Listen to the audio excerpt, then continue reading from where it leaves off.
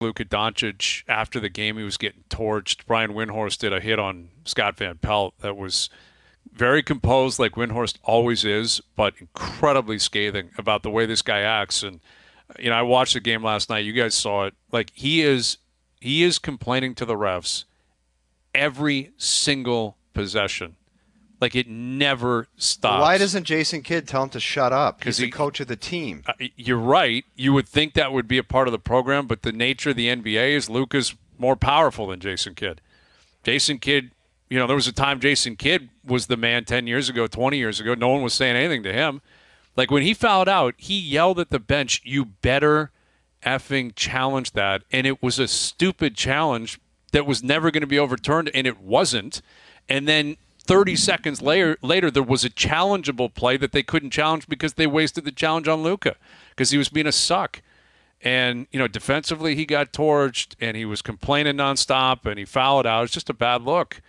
And he was complaining after too, Bryan. Yes. like it's it's not enough that you were complaining and you're and you're diving all over the place. Maybe after the game, just kind of leave it alone. Like Right. you, you said your piece, you did your thing, you, you did the act. Like I, I don't know why he needs to keep going at it. Well, after. guys, in his defense, I will say this: it's pissy and it's petulant, whatever you want to call it.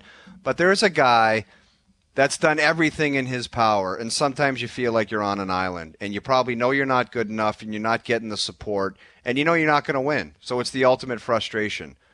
The guy played his ass off and played extremely well to get them to this point, and he hasn't mm-hmm. exactly got any support, and that leads to the frustration. And you're just looking for an avenue to vent, and that's what he's done because he knows it's game over, Yeah. and he's pissed off. Yep, I, I, that's fair. That's reasonable. There is. A, I'm just saying there is a competitive element to I it where he's just that. extremely disappointed because he's played so well to get them there. Mm-hmm. No support. Ultimately, it's not going to happen. And in his head, he's got to be thinking, "Man, I've had the Luka game time after time after time to get us here."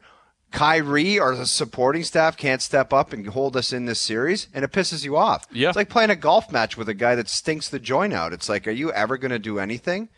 It's I've very experienced it frustrating. rather soon. It's have you, very Have you experienced that recently? My buddy Joe the other day, I'm not going to say his last name, but yeah, I was on an island. Yeah. I was on an island. All right. Dude, it sucks for the other guy, man. Like I've been that other guy when you know you can play better and you're just having a bad day and you know this guy's relying on you and you can't give him anything. You want to crawl into a hole, man. That's it. you It's want an to awful crawl into a feeling. hole. It's an Yeah. awful feeling, but we're amateur chops. This That's is right. You know is- that that's going to happen when you're talking about professionals making that kind of money. That's what you I'm would saying. think that somebody would step up. The worst part of that, the golf thing, is how many times do you say to your buddy and the guys you're playing with, guys, I don't usually play like this. Oh, I know. That's the and it's How it's many times?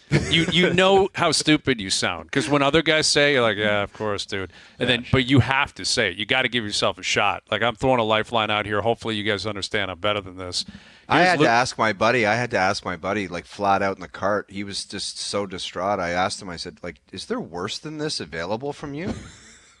that's And he goes, Uh, I know That's it good wasn't a team. nice thing to say, but I was. I That's just a had really to. good teammate. I had to find out for myself. I said, "Is there worse out there? Like, is it?" po-" And he just shook his head. And It's like no bottom of the barrel dude, in the group text, he texted my other buddy because my other buddy gave him a hug on the 13th, and he said, "Thanks for the hug. I needed that." And I was like, "God, that's depressing dude you gotta dude, find no new kidding." buddies man who are you playing This guy with that's shanking sad. everything in that's sad that day. getting hugs and Jeez. really He said, them. "Thanks for the hug. I needed that." And Yeah, then the other tough. guy wrote back, "It's all right." And everyone, and I'm just like, "What? Are, what are we? What are That's we doing tough. here?" Anyway, Luka clip. all right luka post game last night we couldn't play physical, so uh, I don't know.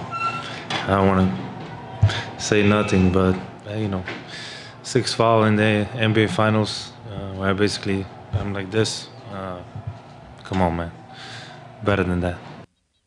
So yeah, he's again he's bent out of shape, and everything you said is accurate. He's a young guy, first NBA Finals, but it's got to be a learning lesson, and you've got to challenge. You, you have to channel it. I guess is the point.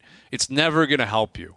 You're, it's never going to be Oh, something the that John benefits Tavares line, the learning lesson. Well, Wow. it's it, listen, is the a- learning lesson, Hayes? You there- can't bitch and complain in the finals. I mean it's pretty obvious. You can't if you're going to go at the refs the whole time. If that's where your energy's going, it's not going to work for you. Like I understand it. There are example. There are certain times for it. There are egregious moments. Like you getting pissed off. You feel like he got fouled or whatever. But watching him last night, and really this has been his rep since he got in the league. It is constant. Like it never stops. And it's not only about how the refs are going to perceive you because they're not probably going to help you much, but it's where your energy's going.